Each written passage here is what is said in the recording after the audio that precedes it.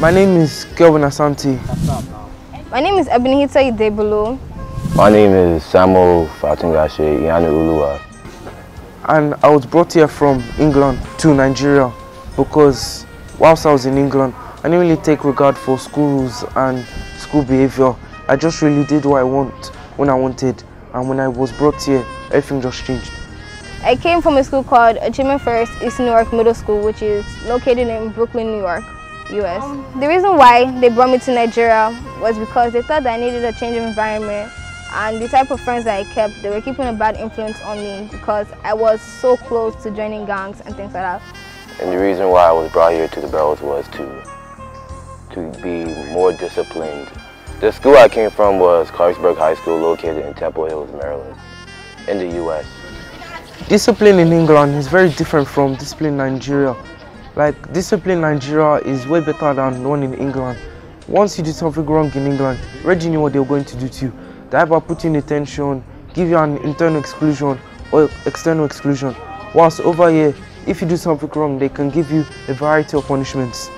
Like once I fought with somebody and um, they made me pack rubble and mop a classroom, which is really different from what they did to me in England. And it made me want to stop fighting.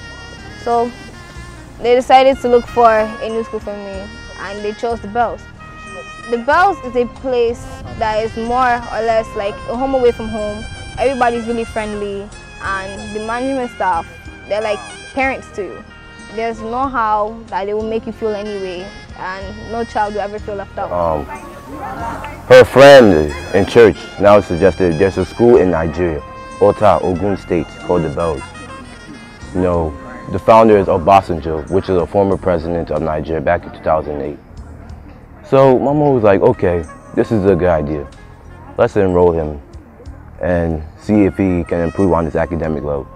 So now, so far, my disciplinary, my my trouble issues have gone down. I'm getting more matured. I'm starting to like the school, but there's something I found in the school that's more than value is uh, is the rules and the conditions they have in here. You can't you can't just do anything how you like, like disrespect all that. School is all about see customary rules and laws. It's not like my public school where anyone can say F you to a teacher and they won't get in trouble. So that's the reason why I like to go. Thank you very much. Because of the rate of discipline here, I focus more on my academics than getting into trouble because I don't want to be punished. Rules and regulations, they're held to a very high standard in the Bells. If a student is caught breaking rules, they'll be severely punished.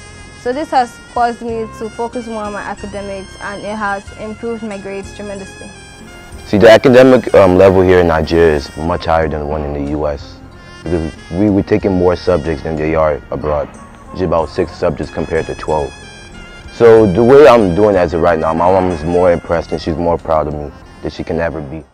Ring the bells, experience the about